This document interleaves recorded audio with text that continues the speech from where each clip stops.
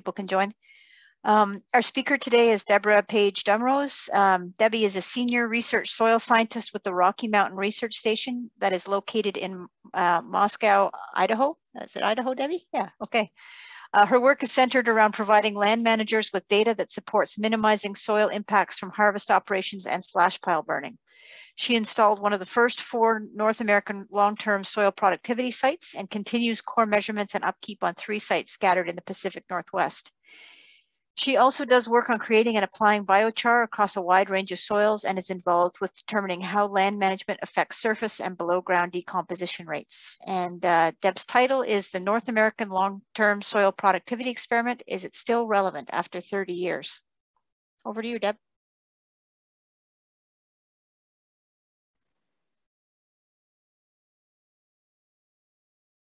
There we go. All right, I'm going to assume that you can see this. Uh, we are seeing the, uh, the, oh, there we go. Perfect.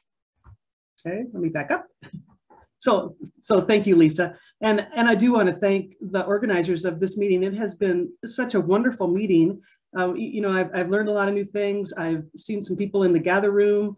Um, and I, I just, I think it's been well organized and, you know, it's it's hard to do a virtual meeting. I understand that, but I think this has been one of the best I've been to. So thank you so much for um, all your efforts to get this organized and get us underway. So I appreciate that. So yeah, today I'm going to talk about the North American Long-Term Soil Productivity Study. And I have on my title slide two plus decades, but you know, some of the oldest sites are um, nearing 35 years old. And some of those sites are in the Southeastern United States and are ready for harvesting. And um, so that presents some, some new opportunities that I think um, the LTSP group can take advantage of. you know, um, usually, you know, people acknowledge um, all of their co-authors and to be honest, I could never do that. There have been hundreds of people involved in this LTSP work um, over the decades. And, um, you know, the Forest Service in the United States, um, there's been a, a, quite a few organizations in Canada who have been involved. Our industry collaborators have either put in um, the entire experimental design or are listed as affiliate sites. We've had um, scores of universities that have been involved with graduate students or with sites. Um, there are sites in New Zealand and in China now. And, and you can see uh, we, we have started out as a pretty large group and you know, a lot of the people have um, retired or passed away. Um, we're all getting a little grayer, right?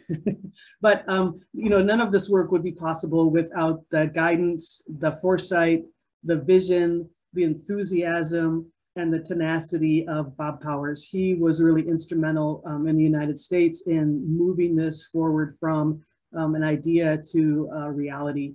And so, um, you know, I think all of us who are involved with the LTSP program are indebted to his um, hard work. So today, I, I, you know, I really want to tell you the story. Um, and, and hopefully that story will help spark some ideas in your mind about how you could be involved in the LTSP study.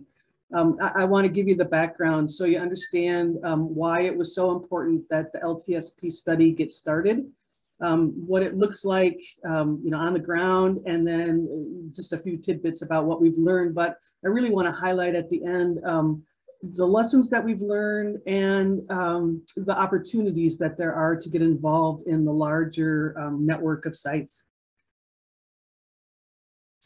So how it all started. It's a, it's a, it's a little bit of a story, but it's an interesting one. And so I think you'll enjoy it. So uh, this started in the United States, and um, we have a history of some soil policies in the United States that have had really brought us to an inflection point. And one of those, um, of course, was the Organic Act, and it was really about providing um, water flow and forest protection, but also supplying timber. And another key law that followed that was the Multiple Use Sustained Yield Act. And um, it was about, you know, the 1960s when we realized that forests weren't just for growing trees, but also provided a lot of recreation and wildlife and aesthetic and spiritual values that um, we needed to make sure were protected on national forests. And so um, this act worked to do that. Um, one of the key pieces of language in there was that it said without impairment to the productivity of the land. And then um, nine years later, the National Environmental Policy Act follows. And, um, and that act really um, wanted people to think about what the proposed usually timber harvests, but proposed actions on forest lands would be in relation to both short-term and long-term productivity. And could there be a way to enhance productivity?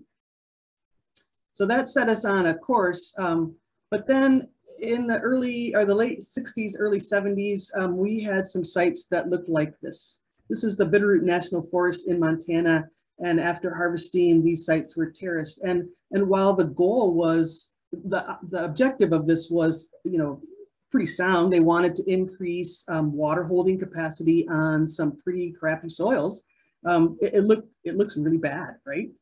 Um, and, and, then um, at about the same time on the Monongahela, that, so that's in the west, and in the eastern United States on the Monongahela National Forest, they had some large scale clear cuts with lots of roads and lots of skid trails.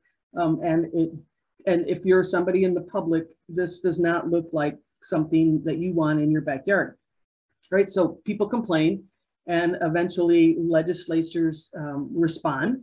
And we ended up with the National Forest Management Act in 1976, which said that harvesting timber could only be done where the soil would not be irreversibly damaged. You know, there are a whole host of other things in that law, but um, for us and for um, the work that we were about to embark on, uh, this was really a key piece of legislation that um, kind of set the stage for what was to follow. And, and what was to follow was that um, the public really became aware that um, uh, understanding the links between soil and forest growth were key, that soil management was the underpinning of sustainable forest management. And um, we were beginning to understand that, of course, if you disturb the soil, you affect sustainable productivity. And it varied from place to place, right? It wasn't the same everywhere. And so the National Forest Management Act really um, set us on a path of requiring research and monitoring that were to protect the permanent productivity of national forests. Um, and so you can see that um, with this law, there's also um, more awareness by the public that um, they should be keeping an eye on what was happening on their national forests. And so, um, you know, part of the issue here is that in the past, we had just been using tree measurements to uh, uh, say, well, um, we didn't affect productivity or um, we can't really say if we affected productivity because we didn't really have any reference stands. And we, of course, were measuring trees that were at different stand ages and different stand structures. There was a different treatment history. Um, we had different stocking levels. And so relating um, how forest management and soil properties and permanent productivity um, were linked was really difficult. And so what happened is that the Forest Service settled on some soil-based indices that were um, a bit more objective and could maybe link that piece between um, soil productivity and stand productivity. And so um, we were the first agency to develop soil quality standards. And they were designed to um, look at the effects of management, and they were to meet the direction of that National Forest Management Act and the other legal mandates. Um, and so um, it, it, was an interesting process. The U.S. Forest Service um, at our headquarters said all of the Forest Service regions um, would design forest soil quality standards. And for example, they could be um, an increase in 20% uh, bulk density, or that the aerial extent of disturbance couldn't be greater than 20% or you couldn't reduce infiltration by greater than 20%. These were examples sent out. Um, and they were, you know, just ideas, you know, here's some things that you could use. But every, almost every single region in the Forest Service thought those were the greatest things since sliced bread and decided that they would use those. Um, and so what happened is that then we had a standard metric for almost all soils. Um, and these thresholds that were selected um, really were just best judgment. They, there was no science to say they were backing these up. Um, and, and, and key to this was that they were supposed to be early warnings and not absolute. But what happened is that they became absolutes and a lot of forest soil scientists at the time um, ended up being more like um, soil cops rather than soil scientists saying, you know, this, this type of harvest activity wasn't the best, um, and here's what happened, and so could we adjust how we um, how we harvest the same kind of soil under the same conditions with the same equipment the next time we do this. It was really more of a, no, we're going to shut down harvest operations. And, you know, so that's not very good either. So, um, so these early warnings became absolutes. Some people had a sliding scale. Some people had black and white. Um, and all of this um, resulted in quite a few lawsuits against the Forest Service because we could not still, we still could not show that we were maintaining long-term productivity. So this this is a problem, right? You know, how do you um, you know get to that point where um, you know we're we're making changes and we're um, we're not getting sued and we're showing the public that we're we have their best interest in mind. Um, we we just we couldn't do it, and it was getting worse and worse. And you know, Montana and Idaho were some of the worst places for lawsuits. Um, there was a strong cadre of people who really had the land ethic that um, you know, there should be no disturbance. And, um, and so we kind of had to backpedal. Well, so then this led to some discussions and I, know you all have been on field tours and have had some really rich conversations in the bus on the way to your field tour site. And, and in the 1980s, early 1980s, this was um, the, the case. It was some Washington office soil scientists and some research and development people. So it was our management side and our research and development side who had this conversation in the back of a bus about the, the problems with lawsuits, the problems with not having soil quality standards that were able to address um, the problems of timber harvesting. We didn't know how to address the early standards because they weren't validated. Um, and, you know, so uh, the idea was born that there could be this network of sites on a variety of soil types and timber types that could begin to explore um, the long-term effects of compaction and organic matter removal. And um, you know, this site, um, the best way for us to do this was to pilot it on some experimental forests in the Forest Service. These are areas that we don't really have to have a lot of um, paperwork done ahead of time. We don't have to do that, um, didn't have to do at that time, the proposed action impacts and we could, it was easier for us to get these sites installed. So um, the four experimental sites were um, in California. I had one here in Idaho. Um, there was one in Minnesota and one in Louisiana. And so we had a variety of sites. And as those started to come online, more and more people um, could really got engaged in the LTSP um, program. And so now we're at a, a place where this is um, the largest coordinated long-term forest management study uh, in the world, um, you know, because we're linking in both soil and forest management issues. Um, yeah, of course, it was initiated by the Forest Service in the United States, but now it's international. We have over 100 field sites, and we have this shared study design and core monitoring plots that help us, um, you know, try and share some of similar data across sites. And you'll see how that's important in a little bit.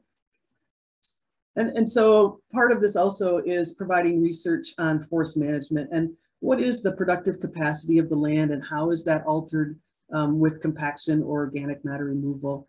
And this has helped us develop um, and validate those soil quality standards. In some cases, the soil quality standards have been changed. Some of them, um, instead of standards, they're now guidelines. Um, and we have a new monitoring um, protocol in the United States for national forests that um, really kind of looks at um, what are those key indicators of changes in productivity. so here is the network of sites. We um, we have quite a few, and um, you know there there's a big hole in the center of North America where we don't have any, but um, not a lot of forest there at the time when all of this was installed. But part of this um, these linkages are where are the soil scientists who are interested in this long-term um, study, and um, how can we engage with them? And and yeah, we're bringing on new researchers all the time, and and we should be able to you know, hopefully continue this on into the future. You know, the, the whole goal of LTSP was to um, have this study go for an entire rotation. And, and like I said earlier, um, in the Southeast, um, at 35 years, they're at the end of their rotation and will be harvesting. But my hope is that um, on some of those sites, you could look at, um, you know, what is the effect of repeated entries and, and how does that affect long-term productivity as well. So, um, you know, there's still some interesting questions that we can answer with this work. So the core hypotheses, the core hypotheses had been um, that this change in site organic matter and soil porosity um, would not affect long-term productivity. Um, and if they did occur, they would be universal and they would be irreversible and that plant community diversity had no impact on long-term productivity. So, so let's look at the, the treatments for just a second. So um, it was really three levels of organic matter removal and three levels of soil porosity loss or compaction. Um, and the organic matter removal piece was, um, is it just um, bole only harvesting and all of the tops were left on the site. Um, whole tree harvesting, so take the whole tree off, right? Um, or whole tree harvesting and removal of the forest floor. Soil porosity um, is a little bit different. Yeah, it's just high, medium, and low. We tried to shoot for um, within 20% of the limiting bulk density, and I'm going to talk about that in a couple of minutes as well. Um, and, and then um, on, on several sites, um, not everywhere, but we do have um, 0.4 hectare plots that um, were divided in half and half had herbicide control and half didn't. So this gets at that plant diversity issue. You know, is it important to have the shrubs and the understory present on these sites to have a biodiversity and uh, maintain that soil processes below ground? Or is it just that we're looking at tree growth? And so when, when I started this, um, I was a newly minted PhD, newly minted scientist um, at then at the Intermountain Research Station in Idaho. Um, I really, you know, I was, I thought this was really a, a great way to start my career. um, and, um, and, you know, I kind of had that pie in the sky. It was kind of like the magical forest, right? You know, oh yeah, yeah, we can do this. That's no problem, you know? And, and Bob Powers was a great salesman, you know, oh yeah, yeah, this be no problem, you know? yeah, yeah. I really had a reality check. Uh, probably all of the site installation people had a reality check um, when they started to do this work. And, um, and I'll, I'll, tell you why. Um, for once all of the plots were laid out, so there were, um, you know, it was a three by three factorial. So one replicate was nine plots. Um, most people put in three plots except at these pilot sites. Um, and we laid out the plots and um, every 20 meters within this 0.4 hectare plot um, had a, a, sample taken. And so there were 16 of these points within that 0.4 hectare area. Um, we collected forest floor and um, I hope you can see there's some rings um, around this square litter box. That's where litter is being collected. Um, and so in the center ring, we um, collected all of the grasses and forbs, and in the outer ring, it was um, shrubs and saplings. And then in the area around that, we also collected data on tree sapling growth and you know, what was in the understory. So, so that was the beginning. And then, of course, we had to take bulk density cores, right? and they were taken to 30 centimeter depth on most sites. And, you know, I'm sure all of you have taken a bulk density core in your life. And so, you know, that they can be challenging when you get past the zero to 10 mark. Um, and then um, what on a lot of sites, we didn't really have good um, data on tree growth. And so in each 0.4 hectare plot, um, all of the trees were measured and we had diameter. And so we divided those diameter classes into thirds and we cut a tree down from each third diameter class. And then at every two meters up the tree, we would take out a cookie. And um, you can see the cookies laid out here in this lower picture. Um, all of those cookies came back to the lab. We extracted a wedge from those. We um, did nutrient analysis and we also counted tree rings. Um, and so we could build these biomass equations for um, trees growing um, on, on, all of our plots. we also collected twigs and sticks. Um, we bagged up everything.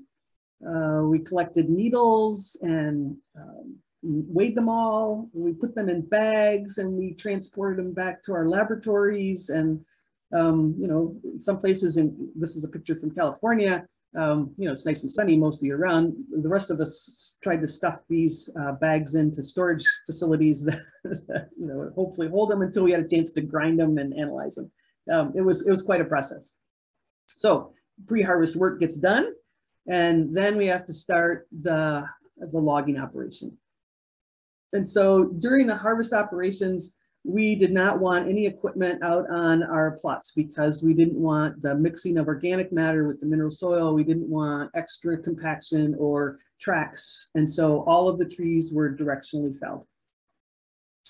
And here's a plot. You can see the directionally felled trees. So these were, um, in, in my case, they were lifted up and moved off-site. Um, in some cases, they had to be dragged off-site, but um, we tried to minimize the amount of impact. And you can see that there are some logs supporting other trees so that they weren't slamming into the ground.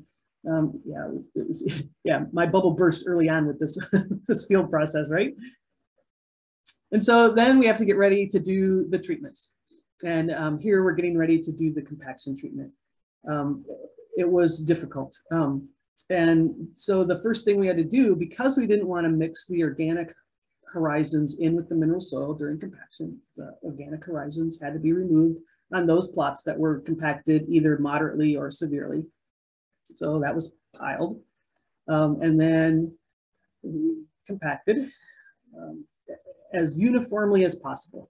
And, and that was that was the key. You know, these treatments aren't what management would do, but they're a continuum of what we see on harvest sites, right? We see severe compaction, moderate compaction, no compaction. We see sites that have some organic matter removed, some where the forest floor is removed, some where there's a lot of slash. Um, and so these, these treatments aren't meant to mimic what management does, but to um, really encompass that whole continuum. And so um, we, you know, we compacted however was convenient. Um, so here's a um, asphalt roller on this site. It also um, rolled the stumps into the soil. Um, sometimes it was just a plate compactor. Um, here you can see where we've lost the depth of the mineral soil through the compaction effort. Um, and yeah, we were pretty good at making a parking lot out of a forest site after a little bit of work. Um, and, you know, of course, we had to have a little fun. There were, um, you know, compaction rodeos going on. so all working on one plot at the same time to try and get this done. And I do want to mention that these sites in most cases were done when um, water moisture was um, right around field capacity so that we could maximize the amount of compaction that we had. And so, yeah, you know, it was, uh, it was kind of a moonscape after we got done um, putting in some of these plots. And so compaction gets done and we have to put the organic matter back.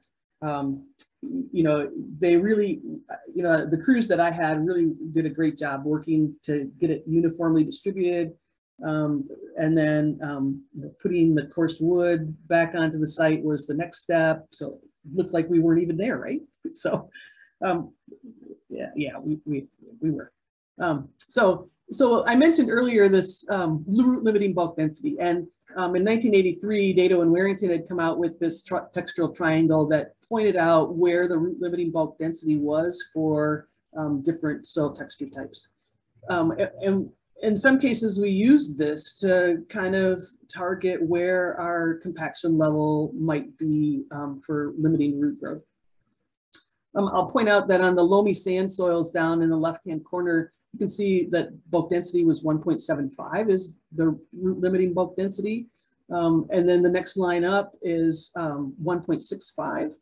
Um, I'm not sure that um, in a, most cases we ever achieved that high of a bulk density. Um, and part of the problem is that this textural triangle was developed um, on agricultural soils that had no rocks and that were pretty low in organic matter to begin with. And so that created a problem for, you know, trying to translate this work into what we were doing on forest sites. But we did compact. Um, and you can see um, the change in bulk density um, on the y-axis and the original bulk density on the x-axis. And um, this was work that I had published back in 2006 using uh, about 26 of our sites. Um, I, will point out that the, at uh, 0.5 megagrams per meter cubed, um, I had a 60% increase in my ash cap soils. These are fine textured soils that um, are ashy um, and they're like Pixy Stix and they're really easy to compact. And, um, you know, we were really worried that we couldn't get root limiting bulk density, you know, on that triangle that I showed you, they don't have volcanic ash soils listed. Um, and, and so we, we were just kind of shooting from the hip and didn't really know what to expect. But our high severity plots, we did compact the soil. I still am not sure that we had a root limiting bulk density, but um, we did have some um, effects that I'll talk about in a little bit. Um, but you'll also notice that um, overall, some of the highest compaction that we were able to achieve was only 1.5. So remember, I pointed out that um, root limiting bulk density on some sites was 1.75, 1.65. So what had happened is that um, on a lot, well, on several of our sites, particularly in the Southwest that were sandy, um, we really only increased bulk density by five or 10%. We didn't get close to being within 20% of the root limiting bulk density. Um, and I, I, will say that those sites were the fastest to recover. Within four or five years, they had recovered back to their pre-disturbance bulk density. Um, on other sites, the, um, the soil compaction level has um, been reduced in the surface, uh, five to 10 centimeters, but certainly not at depth. And we think that this long-term change in bulk density at depth is, could really be a problem, right? Because if, if you're not recovering during a rotation and then you compact the soil again, this could compound the compaction um, at depth, but also at the soil surface. So um, I, think that's a key piece that we could take away is that there, you know, the recovery times between surface and subsurface are of course different. And it's, under, uh, it's really key to understand what those textural differences might be. And so, um, so then organic matter removal. This was the easy piece, right? Mostly. So bole only, we left the slash on the site unless we were compacting the soil. Um, whole tree harvesting, whole trees got removed. And then um, the forest floor removal, you know, you can see this was really the hardest part. Some people use wheelbarrows. Um, I was lucky enough to have a grappler on site that could um, scoop up most of the organic matter and then um, had some fire crews that could um, rake all the rest from around the stumps. Um, in some places, they were able to use um, minimum security prisoners that were at a nearby prison, had them come out, paid them for their work, and got some great work done that way. Um, you know, it was just uh, whatever's available and however you can get it done, um, we were able to get these plots installed. And I do want to mention, and I think this is key um, for moving forward with a lot of the work, is that there are some productivity gradients. So some are um, located across the North America, right? Um, we have um, you know, Canada, Louisiana, Fall River highlighted here, but um, there is a continuum of soil conditions.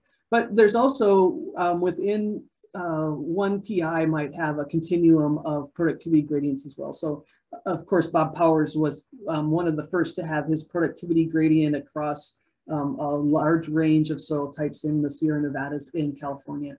And, and those are really important for thinking about um, where have we lost productivity or gained productivity um, as we move forward. So I just want to point out a few things from some early work that has informed some of the later um, results that we've been um, highlighting, or we'll, that we'll, we'll talk about. So organic matter. Um, or organic matter removal seems to be probably the most important when maintaining productivity. So here you can see there's a variety of sites across the US at age 10 um, and stand productivity declines slightly as you take off whole trees and as you take off whole trees plus forest floor, they decline even further.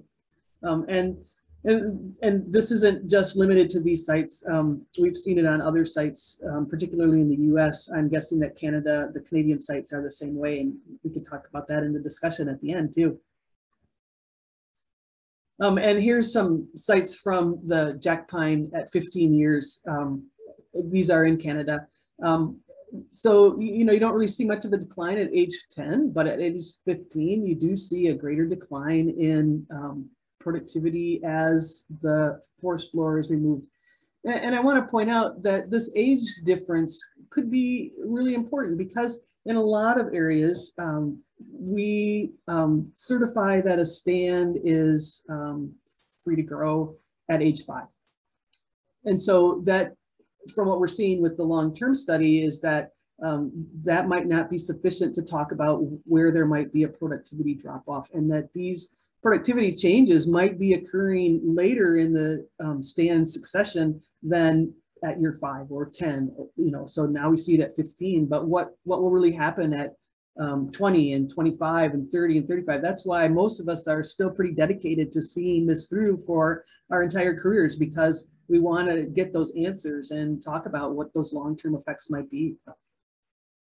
So here's another example of um, what what's possible. You know, we, we didn't really see a change, a non-significant change in productivity um, at age 10, but at age 15, we had we start to see a 7% fall off in, in uh, stand volume.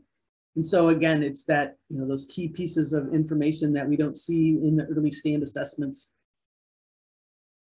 Um, here's some work from Dave Morris from 15-year um, black spruce stem volume and, and soil texture. Um, I think this is also a key piece. It's not just the time, but it's also the soil texture and, and where do we see changes. And um, we, we see, you know, this productivity gradient happening with um, not only organic matter removal, but also with um, compaction. And, and so I think those are some key things to keep in mind. I mean, you know, like I said, down in the Southeast, um, on those sandy soils, they had recovered pretty well and um, we're back to pre-disturbance bulk density, but it's the loss of the forest floor that's really key.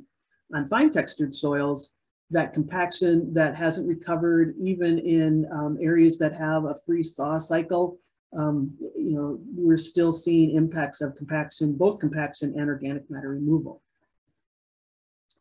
So let's think a little bit about um, some of the compaction lessons that we've learned.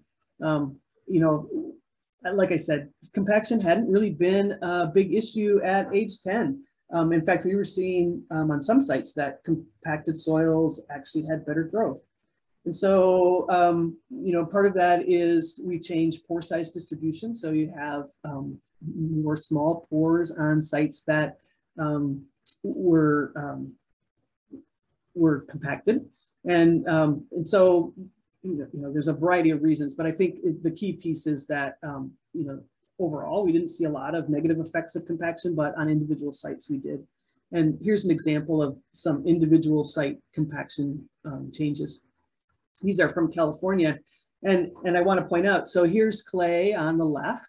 Um, stem volume is on the y-axis and years are across the bottom. And, you know, so at the first measurement, the clay soil stem volume was similar. Um, but over time, you start to see that the non-compacted soils are have higher growth than the compacted soils. So this is on clay. You move to the center panel on loam. Um, it's the same stem volume on the y-axis, years across the bottom. Really no difference in tree growth with compacted or non-compacted soils. And then you move to the sandy loam, right? What we were talking about. Um, here's the compacted. They're actually growing better at less than 10 years old stands than the non-compacted soils. So, uh, you know, uh, you know, up until this time, we kind of had a sense of this, but to be able to look at all these soil textures with the same kind of treatments across a wide range of sites was uh, really, you know, it's a key finding for LTSP to be able to talk to this issue that we knew was probably happening, but we didn't have the data to support at the time.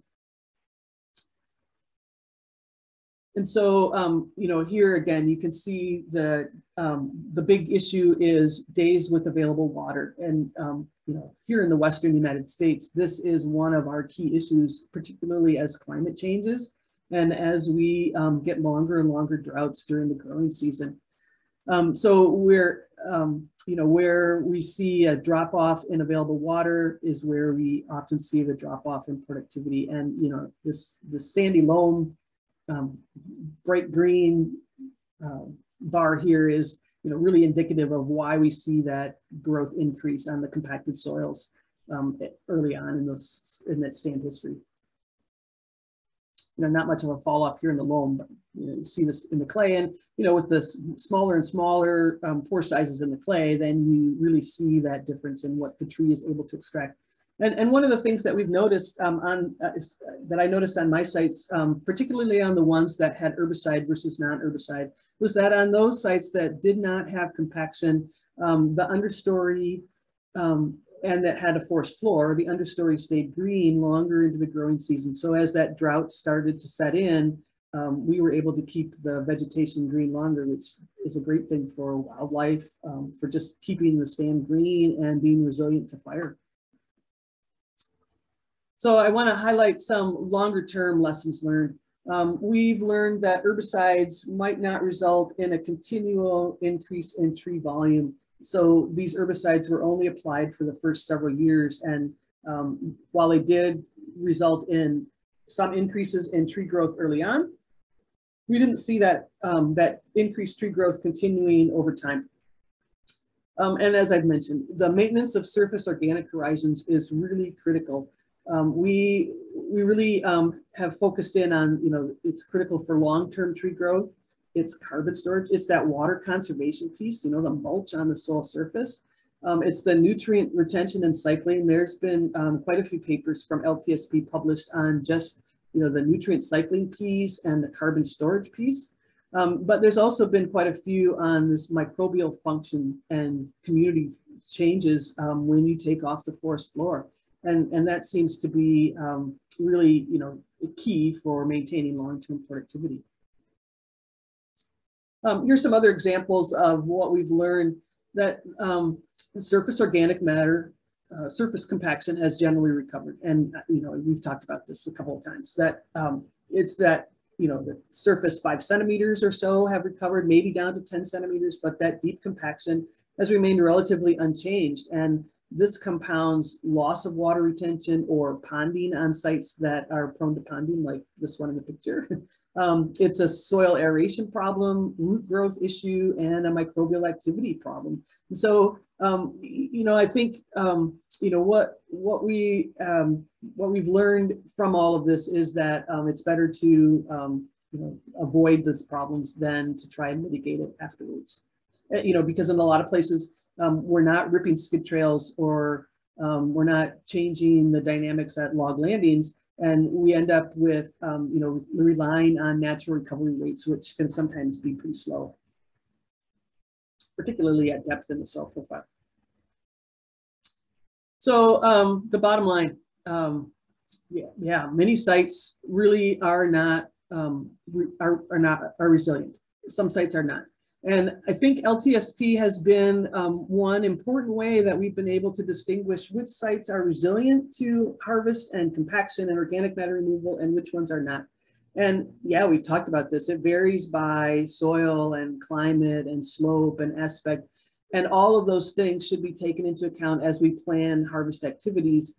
Um, and, and that's, you know, some of what that soil monitoring piece can bring to this is that we do these long-term studies um, but we also need to marry that with the monitoring activities that take place on a larger range of sites so that we can begin to pull together which sites are resilient and which sites are not.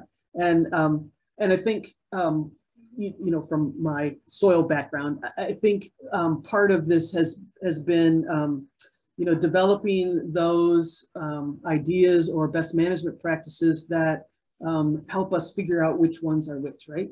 And, um, and being able to say, well, you know, on these sites that are not resilient, we need to just do winter logging, or we need to log in the summer when the soils are dry, or we need to avoid these altogether because of whatever issues there might be. And I think that's probably, you know, uh, I think that's a big benefit of these long-term studies is that we're able to inform those management decisions. And so my, my really bottom line is that we have been able to develop these best management practices. And as I mentioned, you know, it's, it's the ability to um, avoid soil disturbance rather than trying to mitigate those effects. We, um, you know, on some sites I've seen, we have tried to rip skid trails only to have them recompact um, at about the same level. And, um, and oftentimes that um, ripping has not been effective deep in the soil profile.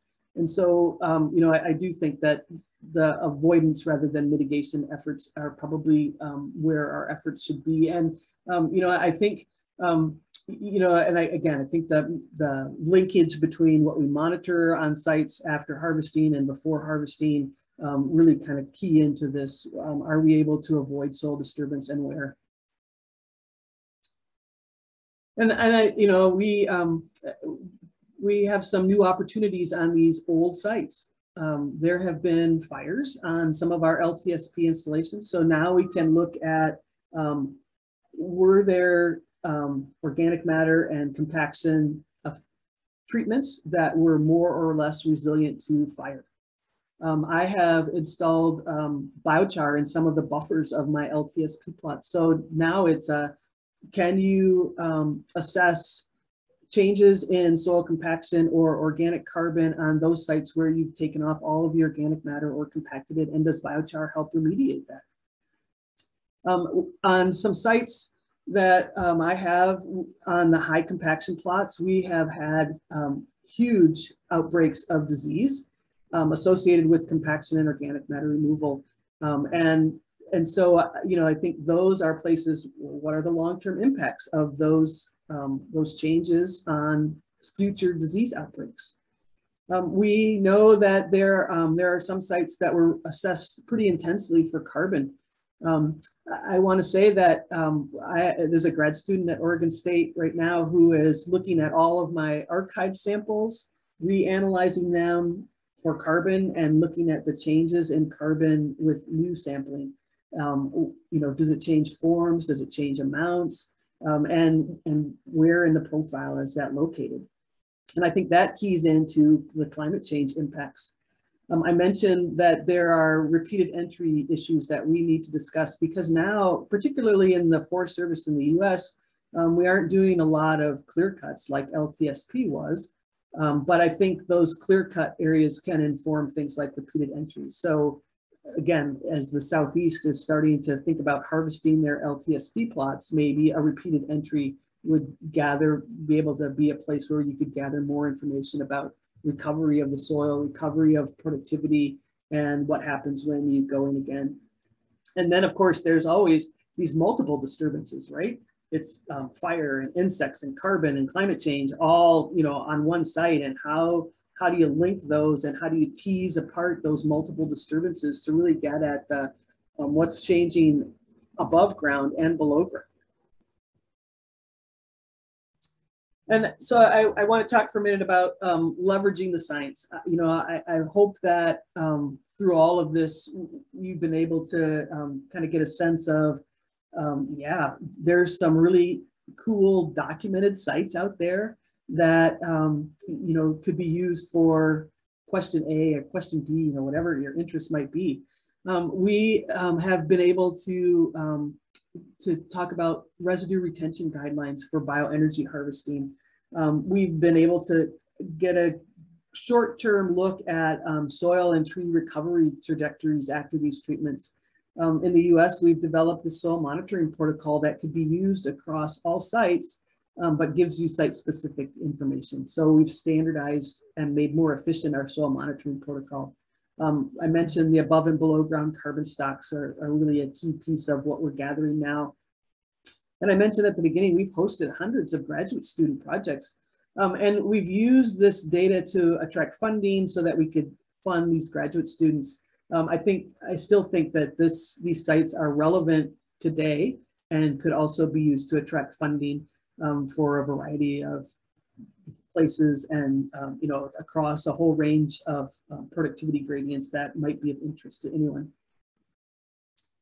Um, and so I, I, I, can't leave my presentation without highlighting this forest ecology and management uh, book. There's a link here in the slide for you to go to. Um, we did a special issue um, and you know, at the beginning, we, we wrote this sentence that we wanted to incorporate the effects of climate change, fire, erosion, loss of biodiversity above and below ground, invasive species, and other large-scale problems that could be addressed by combining um, a variety of sites, however we wanted to, um, or issues into a synthesis paper.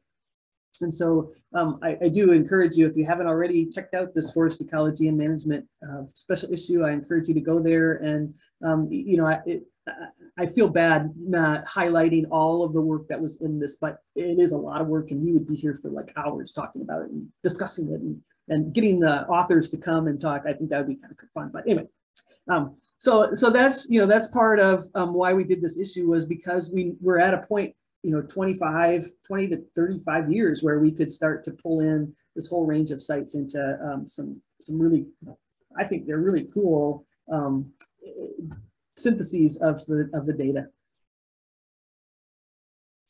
And so you're probably asking yourself, where is the data? Yeah, that's a good question, right?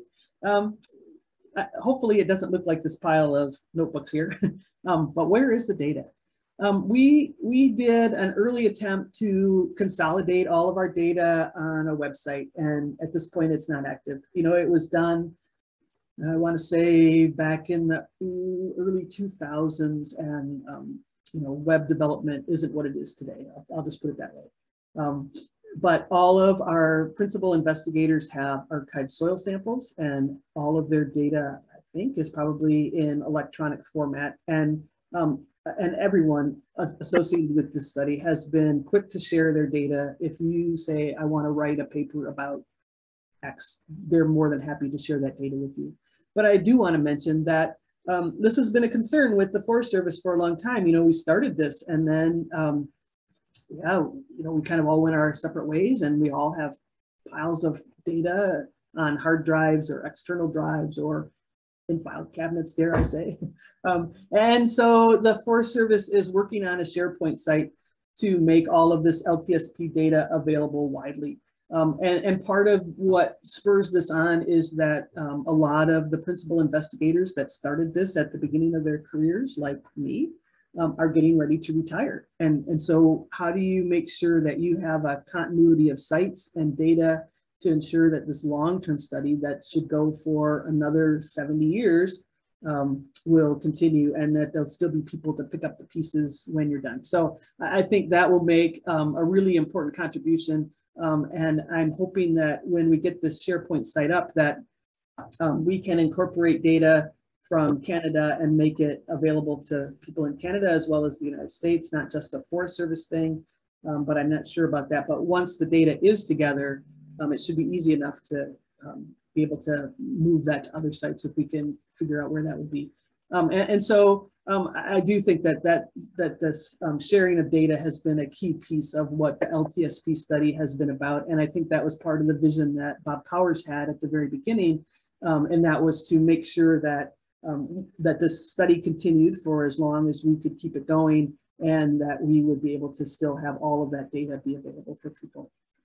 And so um, with that, I don't want to take all of my hour, although I'm getting pretty close. Um, but I do want to leave time for um, questions if there are any. And, and I also want to say, um, if, you know, if you have any questions that we don't get to, you're more than welcome to send me an email and we can chat about whatever questions you might have. So I want to thank you very much for being here today.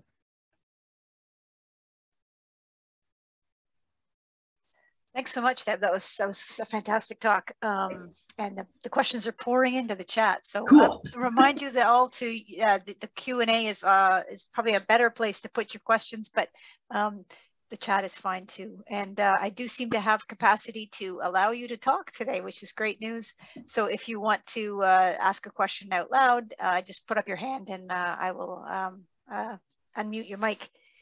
Um, I love the uh, the the. I think I was gonna I'm gonna adopt as my motto avoidance rather than mitigation because I think uh, I think that's so true in so many things. Right. Um, okay, uh, from Terry Sherrick, have you investigated the effects of these treatments on plant diversity? Where there was, um, yes. Um, the, the, broad answer is yes. Um, on on I think almost all of the sites, um, most of the principal investigators do have data at 1, 5, 10, 15, 20 years of understory recovery with these treatments. Um, we noticed early on in the southern um, United States that if you really wanted to increase grass productivity under your stand, um, you could compact the soil and get a great grass uh, understory. Yeah. So maybe not the best thing, but yeah, um, most of these sites do have plant diversity data. Sorry about that phone call. That's okay. Um, uh, from Mike Saunders, any differences between conifer forest types and hardwood forest types?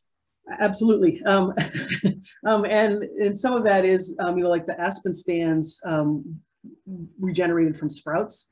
but on all the other sites we planted. So even the um, central United States where we had hardwood species, um, those were planted. Um, I, I, can't, you know, I, am not as familiar with the Canadian sites, but I do know that they have aspen and jack pine on some sites. And so um, maybe if one of those people want to chime in about their um, hardwood sites, I, I would appreciate it.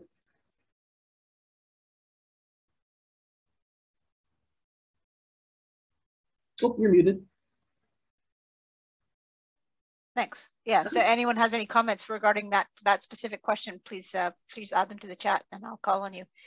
Uh, Jody, uh, let me see. I'm just looking for Jody's name here. Jody Axelson, I think.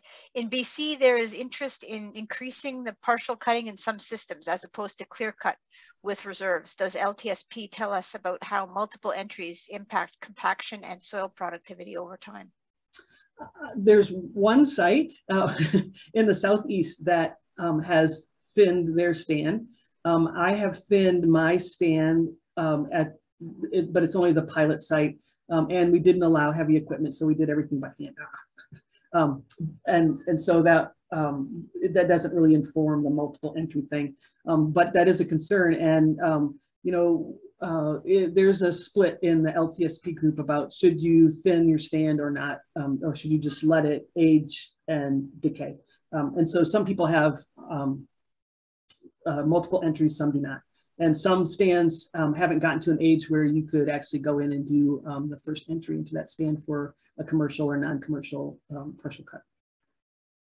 Okay, thanks. Uh, Michaela sorry, the names aren't fully coming up. Michaela Waterhouse, um, how can the lessons learned be applied to site preparation methods? Um, so I think um, one, uh, one site preparation treatment that had often been used here in Idaho when I arrived was um, bulldozing all of the organic matter into windrows and planting in the scalp. Um, some of that is um, we need to do large removal of the forest floor so we get natural seed regeneration. So this site didn't look at the natural seed um, regeneration piece, but um, you know, from the aspect of moving all of the forest floor off so it's easier for tree planters, I, I, think that that's probably not the best way to go because we've seen these fall off in productivity with the lack of forest floor.